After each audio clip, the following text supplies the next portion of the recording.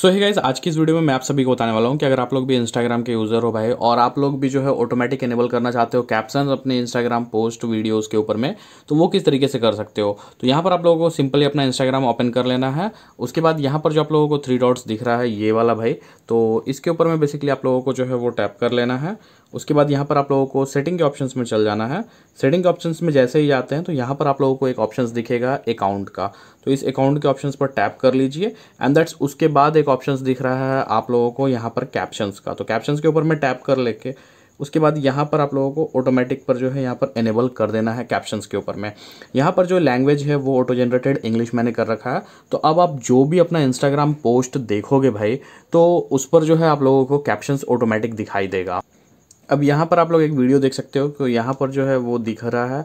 भाई, वीडियो में caption show me the यहाँ पर देख सकते हो show me the reasons you have no money करके। तो लोग जितने भी वीडियोस रील्स वगैरह देखोगे, सभी के ऊपर में आप लोगों को ऑटोमेटिक कैप्शंस जो है वो जनरेटेड दिखाएगा। आई होप दोस्तों ये वीडियो आप लोगों को अच्छी लगी होगी। अगर ये वीडियो थोड़ी सी भी इन्फॉर्मेटिव लगी तो इस वीडियो को एक लाइक कीजिएगा चैनल को सब्सक्राइब कीजिएगा और कोई क्वेश्चन होगा तो नीचे कॉमेंट सेक्शन में डेफिनेटली कीजिएगा। मिलते हैं आपसे नेक्स्ट वीडियो में, जब तक के लिए टेक केयर बाय बाय